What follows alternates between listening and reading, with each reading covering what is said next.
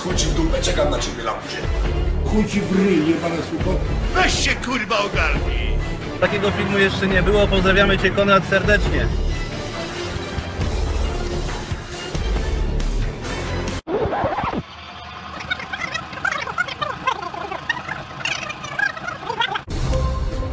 Siedemnastoletni Gonzalo Martinez siedzi w więzieniu.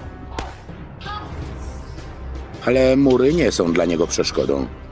Bierze udział w zuchwałej ucieczce. Ci chłopcy należeli do ulicznych gangów, byli gotowi strzelać do ludzi. Przekracza granicę Meksyku i zaczyna nowe życie jako dealer narkotyków. Trwała niekończąca się impreza, nocne kluby, kobiety. Policja nie zamierza umorzyć tej sprawy. Nie dajemy za wygraną, póki nie schwytamy takich przestępców. Przestępcy czasem próbują ujść przed sprawiedliwością. Oto opowieść o takim, któremu się niemal udało. Zbrodnia niedoskonała.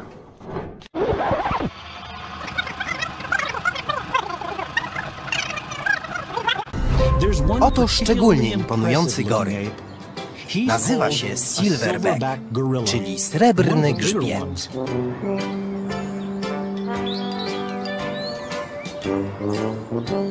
Pomimo swojej ogromnej siły jest bardzo łagodny, ale jego zachowanie często mylnie jest odbierane jako agresywne. Szympansy najbardziej przypominają ludzi. Mają krótkie ciało, krótkie nogi, długie ręce i nie mają ogonów.